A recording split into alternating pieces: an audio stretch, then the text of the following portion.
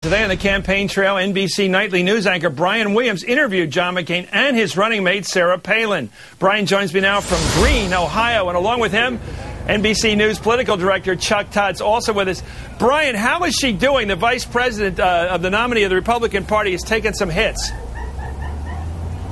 Uh, well, she has, and uh, Chuck and I have been listening to the first half of your broadcast, and both feel you should be more emotional and into the topic matter. Uh, Chris, uh, I'm just kidding. Uh, they uh, got off both aircraft today. Sarah Palin, we, the, the accompanying press pool, told us when she landed here that they had dipped a wing and gone down low over a cornfield carved in her likeness. So she right. was talking about that as they got off the plane. Look, you know our numbers. You've seen the uh, Fox News poll out today. We've seen the AP out today. There's no shortage of them. Our number has it at 10, with 55% of respondents saying she is not qualified to be uh, president. Our conversation, Chris, because it is so much television, and because my preference is to kind of get out of the way of it and let people see it and make their own judgments. I think we're going to serialize it on Nightly News, not only tonight, okay. but over the next several nights. One of the points I take to her is that 55% number and get her response to it. Let's take a look at the interview, a piece of the interview right now that's going to be on Nightly tonight. Governor Palin, yesterday you tied this notion of an early test to the new president with with uh, uh, this notion of preconditions uh, right. that uh, you both have been hammering the Obama campaign on. What, first of all, what in your mind is a precondition? You have to have some diplomatic strategy going into a meeting with someone like Ahmadinejad or Kim Jong il, uh, one of these dictators that would seek to destroy America or her allies. It is so naive and so dangerous for a presidential candidate to just proclaim that they would be willing to sit down with a, a leader like Ahmadinejad and, and just talk about the problems, the issues that are facing them. So that, that's, that's some ill preparedness right there. What do you get out of that, Brian? What's the news value in that? I'm, I can not decipher the meaning there.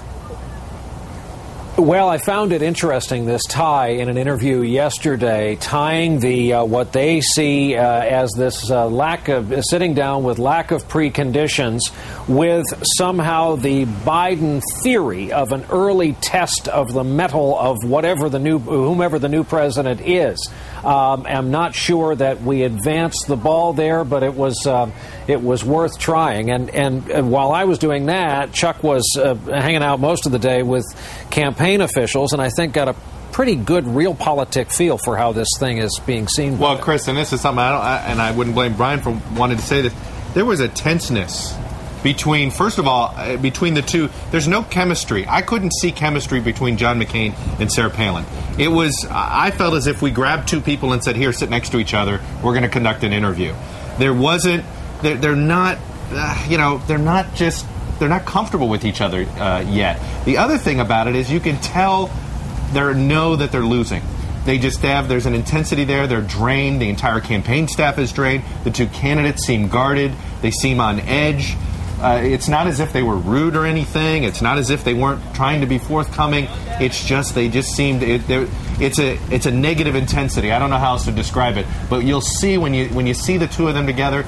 The chemistry's not all there. You do wonder is John McCain starting to blame her for things, blaming himself? Is she blaming him? You know, you just wonder what's going on inside their heads. Are they upset with how the other has treated them, and is that why her numbers are low?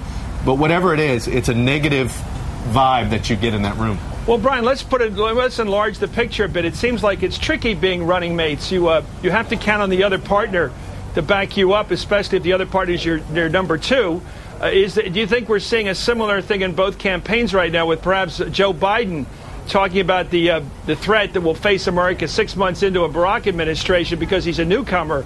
That must have upset his running mate a bit. Uh, I imagine so. And Chris, you know your history. Uh, this has only been kind of a hand in glove relationship.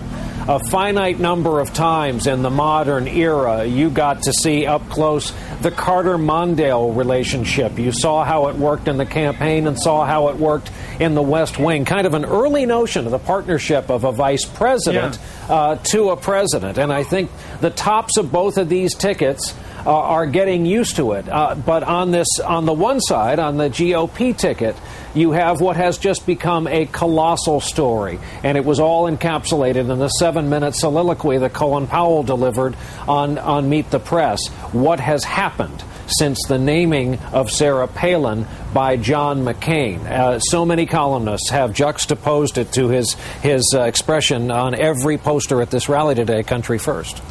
Yeah, I want to ask that Right, about. it was. I uh, mean, uh, I just think that Yeah, but Chuck, I want to Go ask ahead, you Chris. about what, what's been very successful politics, I think, and it is politics, on the Democrat side, which is to change the topic from she's a number two to she better be ready to be a number one. That Colin Powell said that. He said, he said that very well, I think. The job of the vice president is to be ready immediately to be president.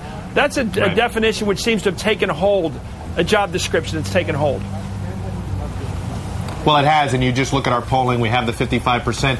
The other thing that I think that people may have overlooked in our poll yesterday had to do with the number of people who said John McCain's age is a factor.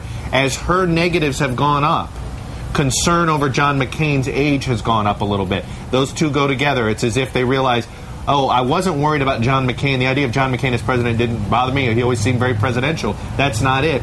The age, it was always sitting out there, and you do wonder, does do does her does the problems that voters have with her raise that other number with McCain? We've seen some evidence of that today. But again, I just I, I just can't I can't emphasize enough the odd body language. I know Ob- Obama and Biden don't have the the great chemistry yet, but Yes. there seems to be some chemistry. I didn't see any chemistry here. It is it, it very much feels forced, and you almost wonder. Now maybe it's the intensity of the moment. They know they're down.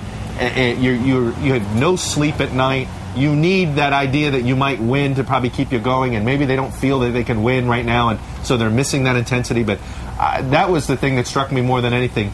The lack of, you almost wonder why they wanted the two of them sitting next to each other. And Well, that Chris, is a allow me to point out that there's a uh, there's a news item where we're jumping ahead at least three days coverage because again the conversation takes so long in evening news terms to play out. Uh, I asked Governor Palin uh, if she was going to release her medical records. She said she would. Uh, so that is uh, something of a reversal, and I must say, Chuck was there to witness this, a surprise to her campaign. It was a surprise to the campaign staff. That's the other thing, Chris. You, you do wonder. Both of these candidates are on the verge of pulling a Bulworth, or at least you feel like they're on the verge of pulling a Bulworth. I think they they're second guessing everything. You know, they're at that moment, and, this New York Times Magazine piece that's out there talking about the behind the scenes of this campaign, how they were in search of a message. We're at this. Uh, we're at a critical juncture inside this campaign for the McCain folks, and that's who's trusting who. You've got people worrying about their reputations now. Now you're wondering, do the candidates trust the staff? Does the staff trust the can? It, it is. This is a very dangerous time in a campaign that is behind. They desperately need some good news because you do wonder is that cohesion disappearing inside, Yeah. not just between the two mates that we saw today on camera, but with the entire campaign structure. Okay, it's great. Thank you very much, Brian Williams. Good luck with the interviews, and thank you, Chuck Todd. You can see Brian's interview with Governor Palin and Senator McCain tonight on NBC Nightly News.